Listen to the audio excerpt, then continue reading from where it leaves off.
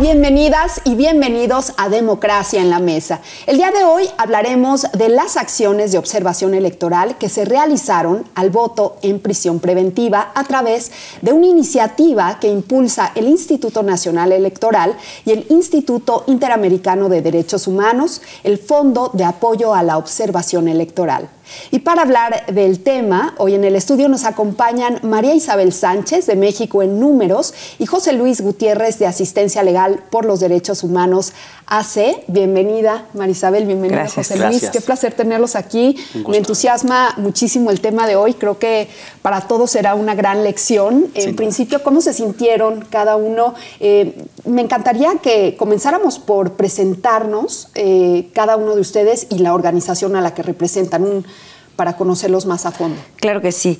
Eh, muchas gracias, eh, primero por este espacio. Mira, Vivian, nosotros somos México en Números, e Investigación Social y Política, y ya tenemos experiencia previa en la observación electoral. Yo soy María Isabel, soy la presidenta de la organización y observamos el voto de personas en prisión preventiva en estas elecciones 2023-2024. Excelente, José Luis. Pues sí, Vivian, soy José Luis Gutiérrez Román, director de Asistencia Legal por los Derechos Humanos. Así Legal, y Así Legal es una organización de la sociedad civil que trabaja por la defensa, la promoción y la difusión de los derechos humanos de las personas que están privadas de libertad.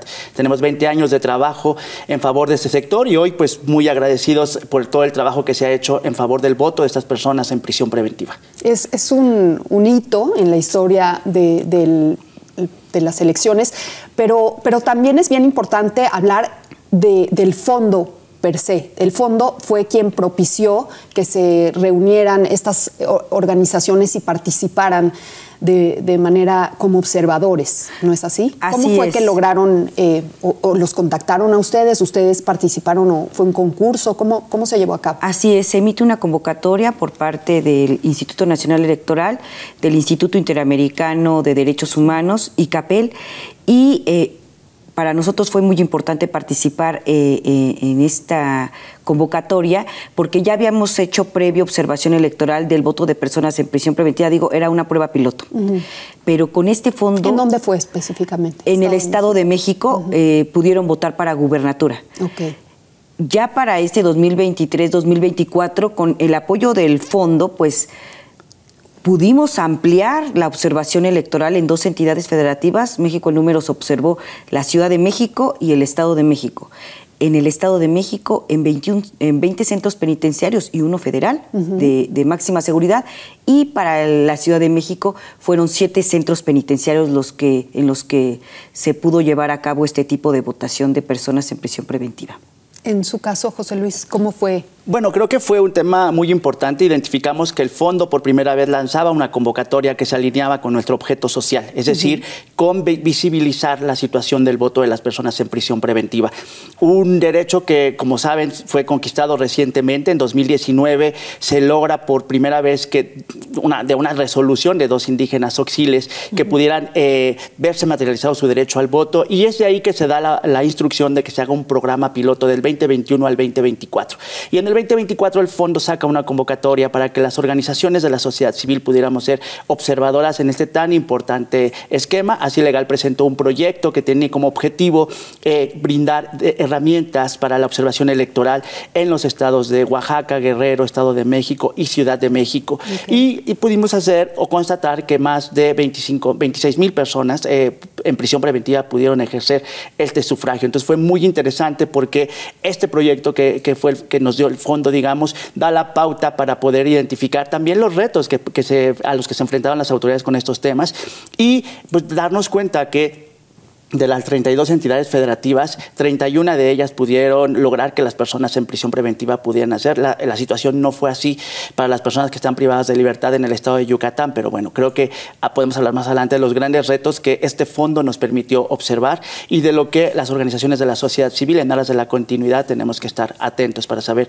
cómo se puede garantizar este derecho en un futuro más para estas poblaciones completas. Además de ustedes, ¿hubo alguna otra organización participando en este, en este sector del voto en el prisión preventiva, ¿saben?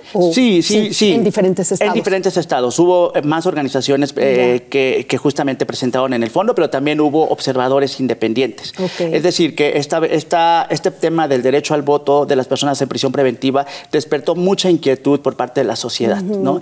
Eh, y entonces sí hubo un gran número de observadores electorales que tenían la gran intención de saber cómo es que este hecho, este hito tan histórico eh, del voto en, prisiones se iba a generar. Entonces sí fue de muchísimo interés.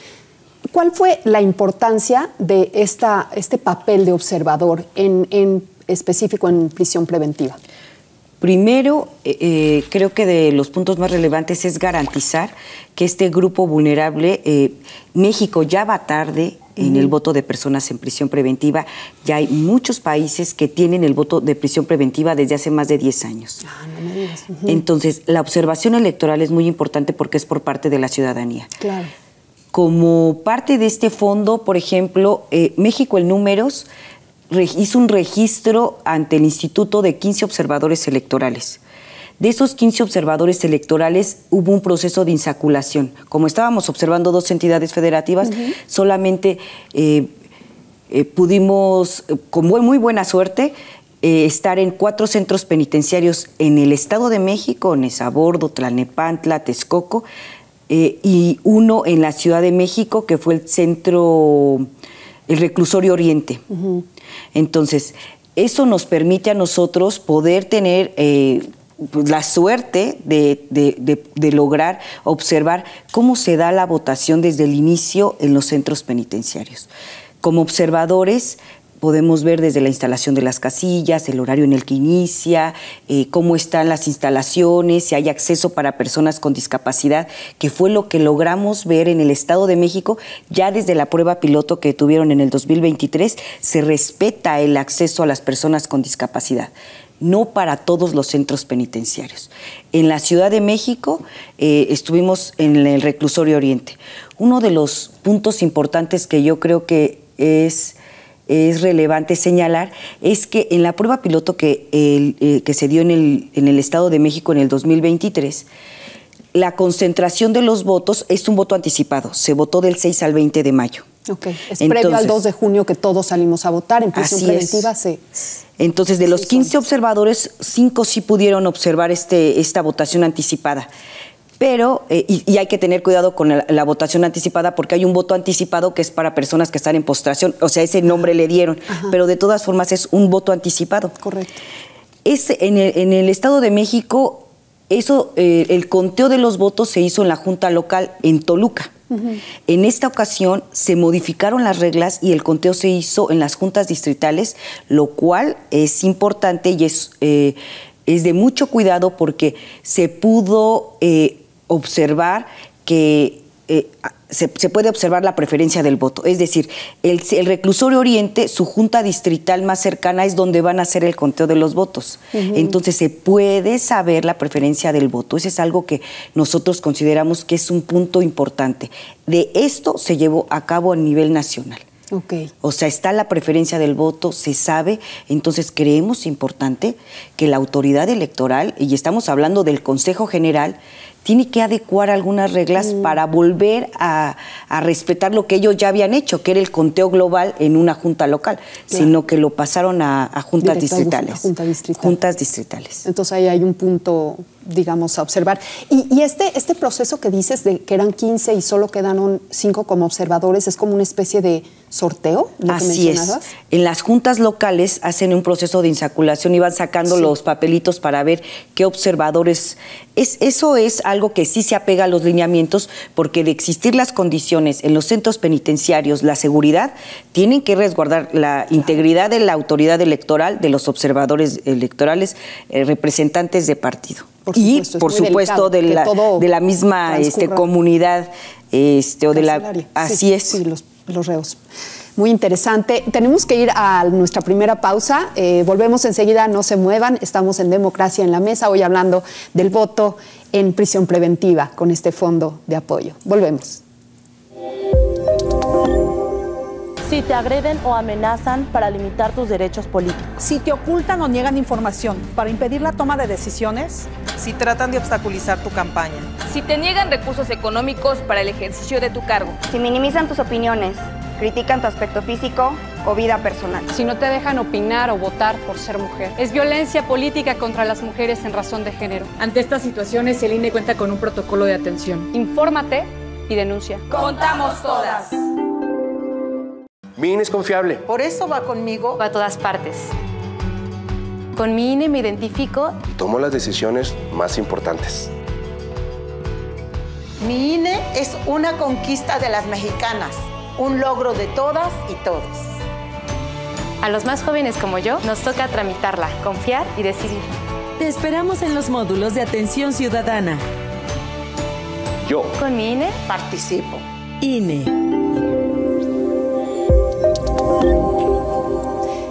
Gracias por continuar con nosotros aquí en Democracia en la Mesa. Hoy hablando de un tema por demás interesante, el fondo de apoyo eh, en la observación electoral, específicamente en prisión preventiva. Y nos acompañan María Isabel Sánchez de México en Números y José Luis Gutiérrez, Asistencia Legal, Así Legal. Eh, en su experiencia, eh, justamente, ¿qué elementos son los que destacaron en su actividad como observadores? Bueno, creo que lo, que podemos rescatar de nuestra actividad como observadores es identificar la buena coordinación que identificamos en algunos estados entre la autoridad penitenciaria y el propio instituto electoral, tanto local como el propio federal. Creo que esa articulación fue, fue muy interesante, fue muy buena. Hay que recordar que, como bien lo, dijeron, el voto fue un voto anticipado y había acciones muy concretas que tenía que iniciar el sistema penitenciario desde el año, un año antes, desde el año, digamos que estaba terminando, diciembre era la fecha límite en que tendrían que haber mandado los nombres de las personas que habían levantado la mano para decir que tenían deseos de poder votar y con ello empezar el proceso dentro del Instituto Nacional para identificar si estas personas estaban dentro de alguna lista nominal previo a entrar al, al sistema penitenciario. Hay que recordar que uno de los requisitos no era tener una credencial para votar, o, sino haber estado en el padrón electoral para generar la nueva lista de personas en prisión preventiva. Entonces, ese, ese trabajo de muchísima coordinación que hubo entre las autoridades electorales y las autoridades autoridades del sistema penitenciario creo que es de resaltarse.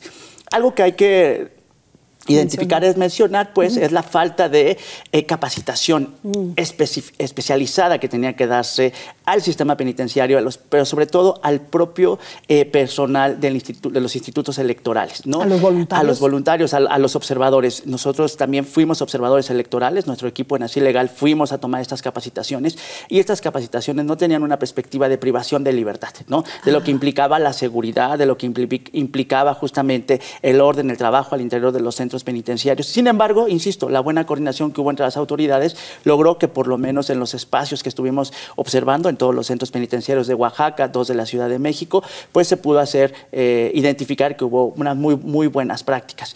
El proyecto de así legal tenía un componente previo a la observación electoral y ese componente era justamente fortalecer las capacidades de los operadores penitenciarios para que ellos pudieran saber eh, qué implicaba el hecho de poder garantizar el voto de las personas en prisión preventiva. Y también hablamos con las personas eh, que están privadas de libertad sobre la importancia en este momento, en este modelo de la reinserción social, de poder ejercer su derecho al sufragio. Ah, o sea, ¿había esta interacción? Sí, Yo por pensé, supuesto. pensaría como algo muy pasivo de observar y. El día y de la observación Así ese es. Día, ese así. día de la observación uno no, por supuesto, uno va a hacer una observancia, Literal. pero como el proyecto tenía que ver con brindar herramientas y poder explicarles, a las personas, Ah, porque hay que recordar que en México tenemos personas en prisión preventiva que tienen más de 20 años esperando una sentencia. Wow. Entonces, por supuesto claro. que cuando vas y les comentas la posibilidad de que hoy se ha logrado de que se puedan ejercer este derecho y que es importante que lo hagan para sentar un precedente, ¿no? Sí. Como lo decía, más de 26 mil personas pudieron votar, pero deberían de haber sido cerca de 80 mil las que son las que están en prisión preventiva, ¿no?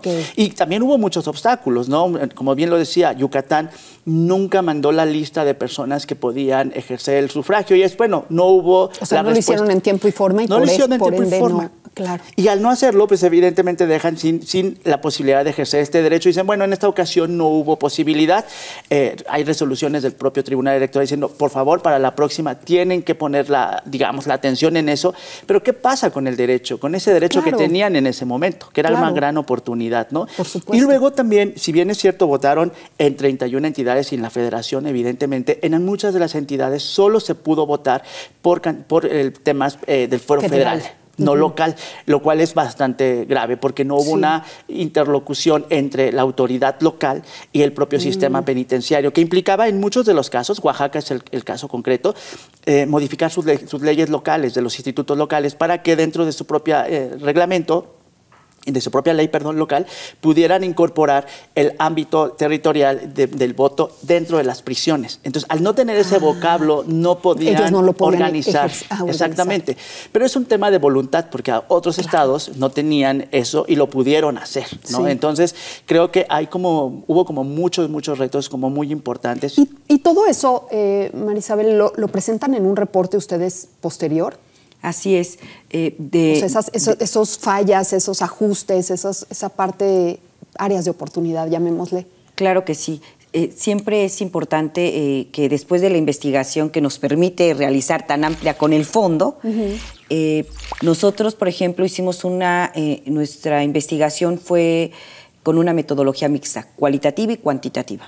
Entonces, en la parte cuantitativa, el día de la jornada electoral, o sea, ya tenemos de entrada nuestro registro de observadores. Es importante mencionar que la relación que tuvimos con la autoridad electoral desde la Junta Distrital 16 eh, en San Pedro, eh, Jalostoc, fue muy eficiente para poder capacitar a nuestros observadores electorales.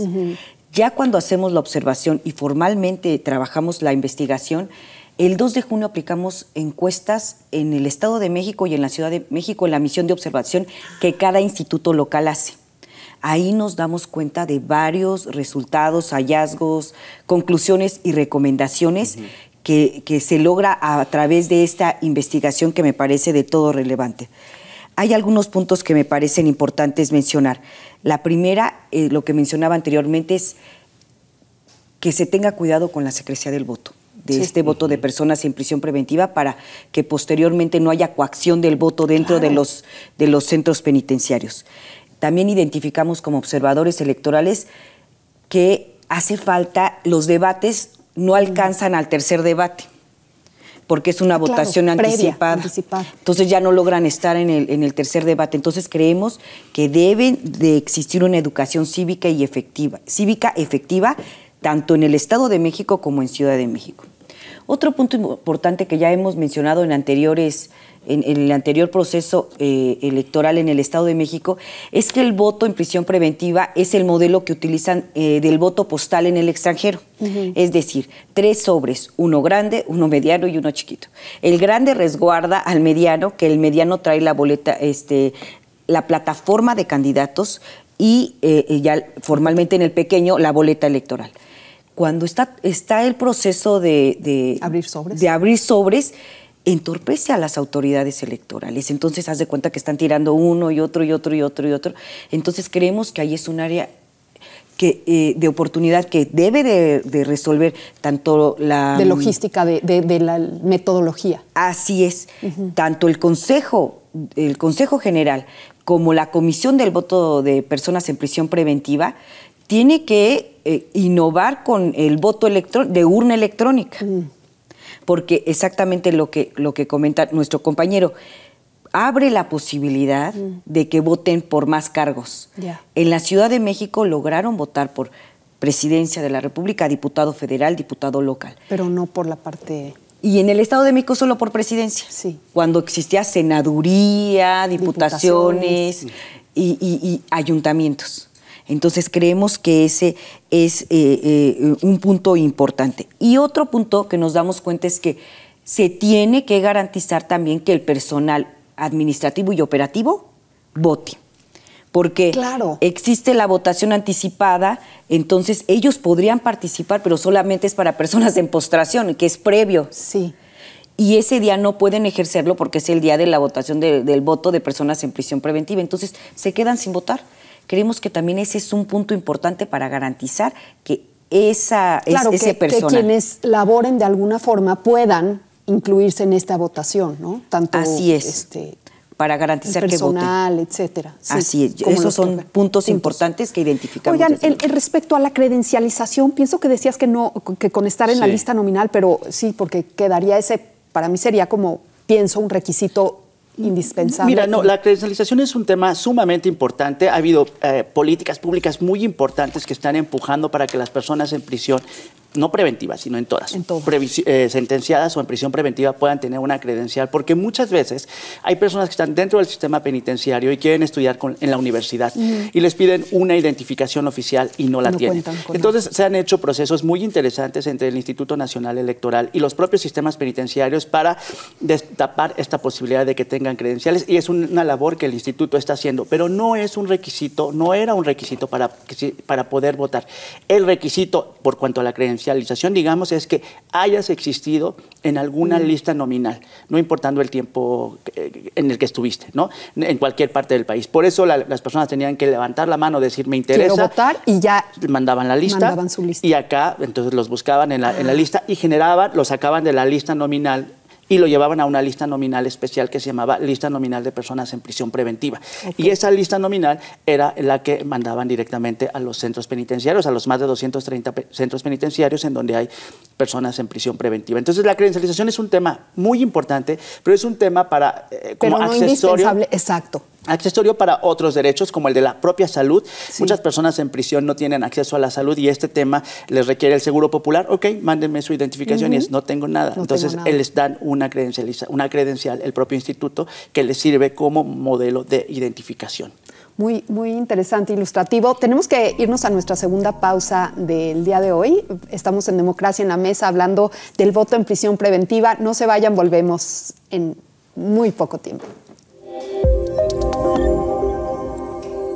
Mi INE es confiable. Por eso va conmigo. Va a todas partes. Con mi INE me identifico. Y tomo las decisiones más importantes.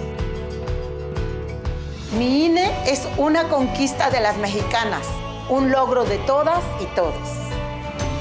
A los más jóvenes como yo nos toca tramitarla, confiar y decidir. Te esperamos en los módulos de atención ciudadana. Yo. Con mi INE participo. INE. Ya están disponibles los últimos resultados del monitoreo que realizaron el INE y la Universidad Autónoma de Nuevo León. Estos son los datos sobre la distribución del tiempo en los medios de comunicación, en las campañas a la presidencia. Candidatura por la coalición Sigamos Haciendo Historia, 818 horas 45 minutos 3 segundos. Candidatura por la coalición Fuerza y Corazón por México, 742 horas 33 minutos 23 segundos. Candidatura por el Partido Movimiento Ciudadano, 460 horas 15 minutos 57 segundos. Dale clic y conoce más. INE.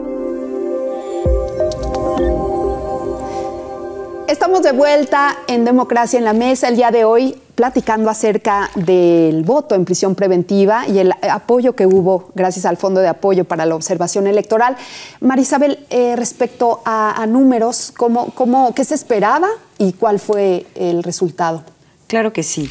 Eh, de, las, de las más de 30 mil personas, un 87% tenemos esos dos puntos relevantes. Un 87% participó muy alto, eh, eh, una participación muy alta, porque digamos que las personas que estamos en libertad eh, vota más del 60%, pero este voto en prisión preventiva pues refleja cifras muy altas de que les interesa participar. Y eso, como lo había comentado mi compañero, es un punto importante, porque tienen la intención de registrarse, es la voluntad de ellos y se refleja en la alta participación dentro de los centros penitenciarios. Otro de los puntos a destacar por parte de México el número son las eh, encuestas que aplicamos en las dos entidades federativas de la percepción de la ciudadanía sobre este tipo de voto y un 64% desconocían que las personas en prisión preventiva podían votar. Un 74% coincidió en que tienen este derecho y un 96% de que es muy, importante o muy importante que ejerzan su derecho. Estos creo que son hallazgos eh, relevantes, no solamente de la población que está eh, en prisión preventiva, sino la que está en libertad, que conozcan que existe este tipo de, de voto para esta comunidad. Esos serían eh, algunas cifras que tenemos relevantes desde nuestra Y como lo mencionaste al inicio del programa, vamos muy por detrás de países donde llevan 10 años de ventajas ejerciendo eh, en su población. Así es, ya México derecho. Ya en México va tarde y creemos que este ejercicio ha sido el más importante que ha tenido que ha tenido nuestro país para garantizar a nivel federal eh, eh, la garantía de las personas en prisión preventiva, la garantía de ejercer sus derechos político-electorales.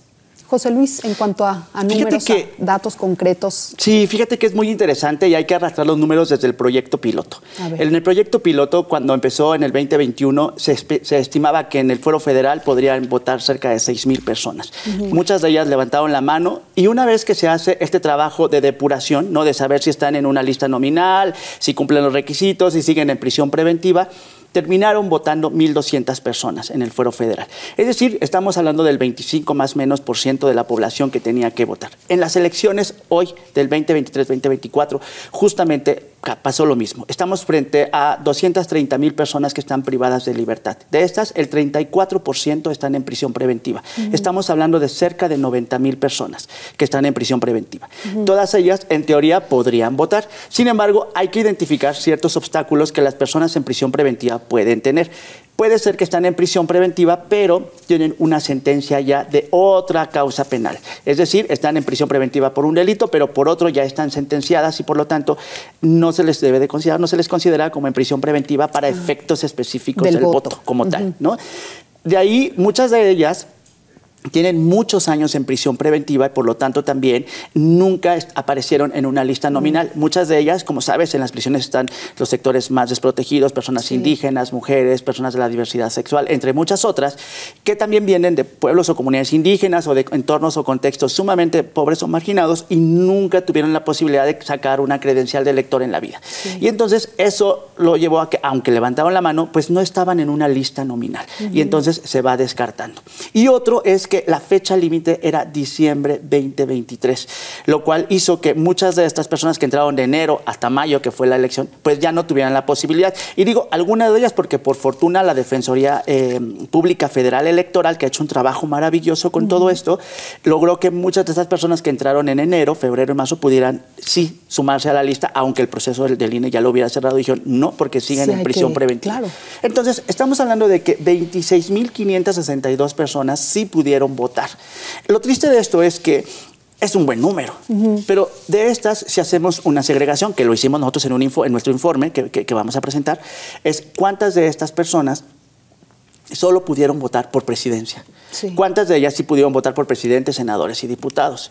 ¿Cuántas de ellas sí pudieron votar por eh, jefes de gobierno o gobernadores o por presidentes municipales o, mejor aún, por presidentes eh, en la comunidad desde, desde, el enfoque de usos Claro, es decir, estaba la mesa puesta, toda la infraestructura, todo lo que se hizo para que solo se aprovechara, digamos que llegaste al entremés y no comiste sopa, plato fuerte ni postre, porque no, no llegaste a concluir con todo lo que podías representar. Así es, y era algo que ya se veía. Por ejemplo, en el proyecto piloto hubo varios estados que tenían la obligación de ejercer el sufragio. Oaxaca no lo hizo, por ejemplo, en las elecciones del último gobernador, si no es 2022, si no mal recuerdo, no ejercieron el voto. No les dieron la oportunidad porque no hubo un, una articulación entre el Instituto Estatal y el propio sistema penitenciario. ¿no? 2024 lo ejercen solo porque el Instituto Nacional entra y entonces llevan y entonces pueden llevar las elecciones federales, pero no las locales. Entonces creo que es importante que este trabajo que el fondo nos permite hacer eh, pueda servir para generar estas observaciones y podamos dar recomendaciones muy puntuales que son muy necesarias para la articulación y la garantía de este derecho al voto, que es un derecho que en el contexto de la progresividad se ha conquistado y que no debemos de simularlo. O sea, debe de quedar claro, tenemos que saber y el propio Instituto Nacional nos tendría que decir de estas 26 1562, ¿cuántas sí pudieron votar por todos los candidatos posibles y por haber? Y luego otra cosa, y con esto si quieres eh, voy cerrando esta parte. Eh, ¿Qué papel o qué trabajo hicieron los partidos políticos? En la Ciudad de México, por ejemplo, hubo debate de, debate de los partidos políticos, pero no los candidatos. Mandaron a, representantes ¿no? que no tenían una visión de lo que implica la política pública al interior de los centros penitenciarios. Entonces, nuevamente, esta población invisibilizada, que hoy conquista un derecho, se vuelve a invisibilizar o bien se vuelve a, a simular que hay una posibilidad de que votaron cuando la posibilidad nos dice pues que no pudieron votar por todo lo eh, digamos los candidatos que, que, bien lo podrían haber hecho. No, y, y lo que platicábamos fuera, fuera del aire, eh, en, el sentido de si ya algo no se llevó a cabo, por más que tú eh, posteriormente ejerzas o, solicites una, un, recurso, judicial. no hay forma porque ya las, las votaciones ocurrieron. entonces queda descartado. Exacto. Se sobresee, entonces dice, ya no hay materia, discúlpame, porque ya, pasó. Entonces te le ordena a la autoridad, pero para el próximo lo haces. Y el próximo no lo hace ni bueno, no hay materia, pero entonces, entonces ¿cuándo vamos a garantizar este derecho? ¿no? Que creo que, que, es fundamental. Eh, a subrayar. Y recordar cómo se gana este derecho, ¿no? Reconociendo el principio de presunción de inocencia. Y dos, entendemos entendamos el contexto de nuestros sistemas de justicia, un sistema que fabrican culpables y que muchas personas están ahí por muchos años. Sí, totalmente. Eh, Marisabel, em, en ese sentido, ¿cuáles serían sus, sus conclusiones o, en, qué, en qué resaltarían las áreas de oportunidad? Sí, yo creo que ampliar el proceso de registro, porque se, se eh, se hizo un corte hasta el mes de diciembre. Entonces, ya para enero, febrero, marzo, abril mayo, esas personas que están en prisión preventiva ya no pueden participar porque se cierra. Entonces creemos eh, que es importante que se amplíe el proceso de registro, que se respete y se garantice la secrecía del voto, que sea un voto informado efectivo. Creemos que es importante que se que, que constantemente haya convenios de colaboración entre el instituto, entre las autoridades penitenciarias. Eh, otro punto importante, eh, pues lo que habíamos comentado de aumentar el número de cargos eh, de representación en diferentes entidades federativas, sugerir el voto electrónico. Esas, es, creo y, que y por lo que tú comentabas, perdón la interrupción, pero también ampliarlo a, porque solo se, se, llevó a cabo en ciertas prisiones y no en todas. ¿O, hubo algunas donde pudo haberse dado y no se dio? No, sí. En el Estado de México, por ejemplo, te comento que son 20 centros penitenciarios, uno federal, que es Almoloya de Juárez. Ahí no permitieron eh, la participación de observadores electorales. Mm. Y creemos que eso es algo importante, que de, de existir la mm, seguridad dentro de los centros nos permitan a los observadores que podamos participar más. Sí. Que no solamente estemos uno, sino que podamos asistir a los 21 centros penitenciarios. Exacto. Y, cómo, pues, este tipo de fondos creo que son iniciativas relevantes para fortalecer eh, la investigación eh, político-electoral de un grupo de un grupo en situación vulnerable, porque son exactamente derechos humanos. Totalmente. Entonces yo creo que sí es importante invitar a la ciudadanía, a los diferentes actores sociales a participar en este tipo de fondos para que se genere nueva investigación, nueva evidencia, se hagan recomendaciones, tengamos conclusiones. ¿Por parte de quién? De la ciudadanía. De la ciudadanía, por supuesto. Porque no somos autoridades electorales, pero desde la ciudadanía podemos darle claro, legitimidad son los ojos a de todos y que se lleve a cabo, que se ejerce ese derecho que tienen todos Claro que sí, me gusta mucho una, eh, una palabra que señala la vocal eh, ejecutiva de la Ciudad de México, dice una caja de cristal en, lo que todos, en los que todos podamos observar qué hay adentro. Es correcto. Entonces, eso creo que es muy importante. Muchas gracias. José Luis, tus conclusiones tenemos que ir cerrando. Claro, solo recordar que la propia Comisión Interamericana de Derechos Humanos ha reconocido que el papel de los observadores electorales es fundamental para garantizar los derechos humanos de los ciudadanos. En este caso, el papel de los observadores eh, electorales en el, en el tema de prisión preventiva es fundamental para transparentar eh, lo que está sucediendo al interior de los centros penitenciarios en, en términos de democracia. Así es que creo que el papel que jugamos, gracias al fondo, las organizaciones de la sociedad civil, tiene que ser un papel proactivo en el que se garantice pues que y se reconozca como lo que somos, como defensores y defensoras de derechos humanos de este ejercicio tan importante que nos conlleva a lograr la democracia en nuestro país. ¿Para cuándo tendrán eh, sus conclusiones ya. nuestro informe lo, terminamos, ya está, ya está en la imprenta, entonces ya yo creo ah, que el 2 de, en, septiembre 2 estará ya el, informe. Estupendo. Muchas gracias y, un placer haberte conocido y tener todos tus, tus eh, interesantes puntos. Marisabel, sus conclusiones.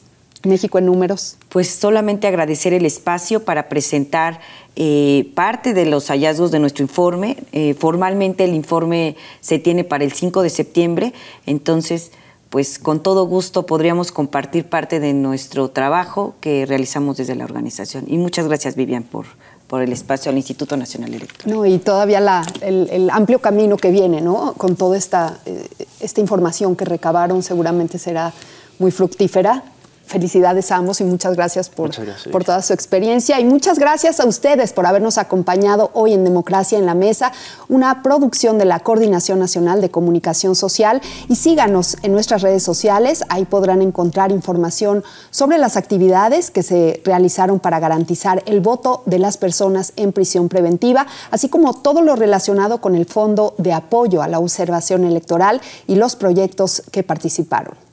Muchísimas gracias. Soy Vivian Silverstein. Hasta la próxima.